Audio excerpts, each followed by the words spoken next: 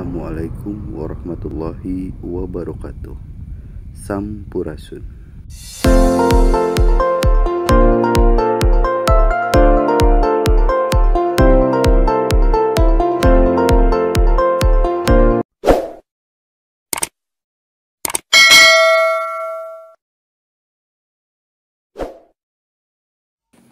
Sahabat Pepeling di mana pun berada dan dulur-dulur sadaya. Pada kesempatan ini izinkan saya untuk bercerita tentang seorang tokoh yang begitu disegani yang bernama Raden Arya Wiratanudatar. Raden Arya Wiratanudatar adalah anak dari Raden Arya Wangsa Goparana Raden Arya Wangsa Goparana adalah putra Sunan Ciburang yang merupakan raja kerajaan Talaga. Sunan Ciburang adalah anak Sunan Wanapri, anak Sunan Parung Gangsa, anak Pucuk Ulum, anak Munding Sari Letik, anak Munding Sari. Munding Sari sendiri adalah salah satu aib dari salah satu anak bungsu Siliwangi yang ketika runtuhnya Pajajaran melarikan diri ke daerah Talaga di kaki Gunung Cerme. Menurut silsilah, Raden Jaya Sasana atau Raden Arya Wiratanudatar dengan adiknya yang bernama Panembahan Girilaya adalah generasi pertama dari Muning Sari yang masuk Islam dan diangkat menjadi ulama yang mulia dan memiliki pesantren di provinsi Segala Hera. Karena Raden Arya Wangsa Goparana masuk Islam, ia pun diusir dari Talaga dan akhirnya merantau sampai di desa Nangkaberit yang sekarang masuk ke kecamatan Sagala Herang, Kabupaten Subang. Di sana ia mendirikan sebuah desa dan menjadi dalam pimpinan kerajaan kecil. Raden Arya Wangsa Goparana dianugerahi delapan orang anak. Yang pertama Jaya Sasana, yang kedua Wiradiwangsa, yang ketiga Chandra Manggala, yang keempat, Santaan Kumbang. Yang kelima, Yuda Negara. Yang keenam, Chandra Dirana Nawing. Yang ketujuh, Santaan Yuda Negara. Yang kedelapan, Nyonya Murti. Jaya Sasana sebagai putra pertama dari Raden Aryawangsa Goparana terkenal sebagai orang yang pandai beribadah dan menuntut ilmu. Jaya Sasana juga disebut-sebut sering berhalwat atau bertapa untuk merenung dan bertapa di tempat-tempat yang sepi. Suatu ketika, ketika Jaya Sasana sedang bertapa, datanglah seorang jin Islam yang memiliki paras cantik dan rupawan. Jin ini tertarik dengan Jaya Sasana dan akhirnya mereka menikah dan dikaruniai tiga orang anak, yaitu Raden Surya Kancana, Nyi Endang Sukaisi, dan Andaka Wirusajaga. Jaya Sasana diberi tanggung jawab oleh ayahnya dalam segala herang berupa seratus orang. Menurut sistem feodal saat itu, kekuasaan seorang bangsawan diperkuat dengan banyaknya rakyat yang dipimpin tidak berdasarkan tanah. Karena semakin banyak orang, semakin banyak wilayah yang akan ditempati oleh orang-orang.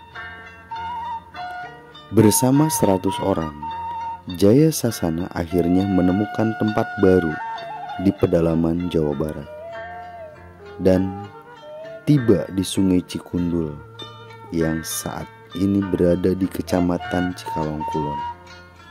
Di sini mereka menetap dan membuka lahan baru. Penduduk Jaya Sasana terbagi dan tinggal di satu tempat, tetapi sebagian besar di Cijagang, karena di sanalah pemimpin mereka berada. Beberapa tempat yang dihuni oleh masyarakat Jaya Sasana tidak jauh dari sungai seperti di Cibalagung dan Cirata. Walaupun rumah berpencar-pencar, mereka masih dalam satu kesatuan rakyat di bawah pimpinan Jaya Sasana.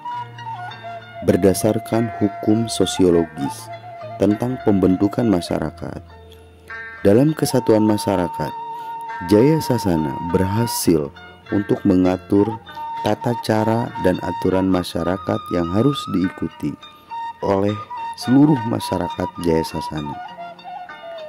Tata cara dalam setiap masyarakat mempunyai sifat kesatuan sehingga dalam setiap kesatuan masyarakat terdapat kesatuan hukum. Tugas utama seorang tokoh masyarakat adalah mengatur kehidupan dan menegakkan hukum. Selain itu juga berfungsi untuk melindungi masyarakatnya jika terjadi kerusuhan. Jika ada perampokan atau jika ada penyerangan dari provinsi lain, hingga kepala masyarakat saat itu lebih tepat disebut panglima atau senopati dan bukan disebut dalam. Demikian pula masyarakat Jaya Sasana saat itu masih dalam keadaan bungkam. Karena pada saat itu daerah yang saat itu diduduki oleh rakyat Jaya Sasana berada di bawah kekuasaan Mataram yang dalam prakteknya berada di bawah kekuasaan Cirebon. Karena Cirebon adalah bawahan Mataram. Oleh karena itu, dalam beberapa catatan, orang Jaya Sasana sering disebut sebagai orang Cirebon. Menurut cerita, setelah runtuhnya Pajajaran menyebabkan beberapa daerah merdeka dan menyebabkan beberapa kerajaan berusaha mengklaim bekas wilayah Pajajaran, termasuk kerajaan Sumedang Larang, di bawah Raja Gesan Ulun yang menurut pengakuannya bahwa seluruh bekas wilayah Pajajaran adalah wilayah Sumedang Larang. Untuk menegakkan klaimnya, Raja Gesan Ulun akhirnya mengadakan serangkaian kampanye untuk menaklukkan wilayah yang tidak tunduk pada klaimnya. Untuk mengatasi kampanye militer Sumedang Larang, Cirebon akhirnya memperkuat pertahanannya di antara wilayah Cimapag yang pada saat itu termasuk dalam wilayah tanggung jawab Jaya Sasana. Sehingga Cirebon akhirnya mengangkat Jaya Sasana sebagai senopati atau panglima dengan gelar Wiratanu.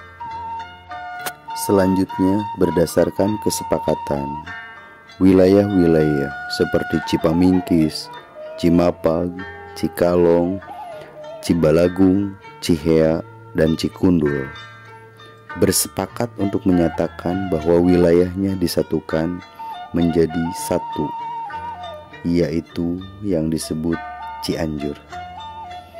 Dan kesepakatan itu menunjuk Jaya Sasana untuk dijadikan sebagai dalam karena dibesarkan sebagai dalam Wiratanu akhirnya menggunakan gelar Arya sehingga nama lengkapnya dijadikan sebagai Arya Wiratanu atau Raden Arya Wiratanu.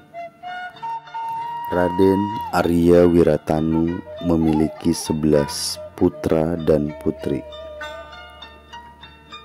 Yang pertama Raden Arya Wiramanggala yang selanjutnya diangkat menjadi pengganti beliau dengan gelar Wiratanu II. Yang kedua, Raden Arya Martayuda. Yang ketiga, Raden Arya Tirta. Yang keempat, Raden Arya Nata Dimanggala. Yang kemudian diberi gelar dalam Arya Kidul. Yang kelima, Raden Arya Wiradimanggala dengan gelar Raden dalam Cikondang. Yang keenam, Raden Arya Suradiwangsa. Yang ketujuh, Nyimas Kaluntar.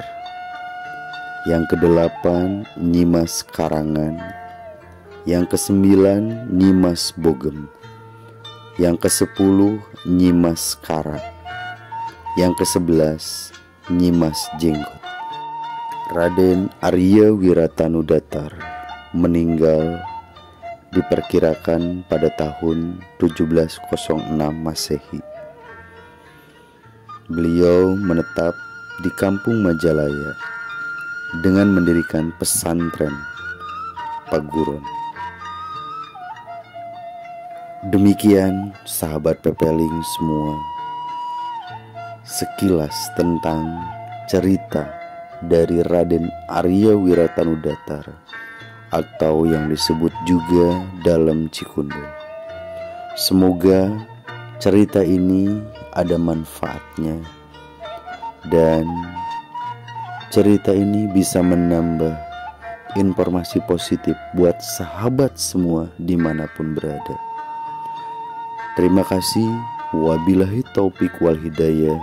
Wassalamualaikum warahmatullahi wabarakatuh. Sampurasun.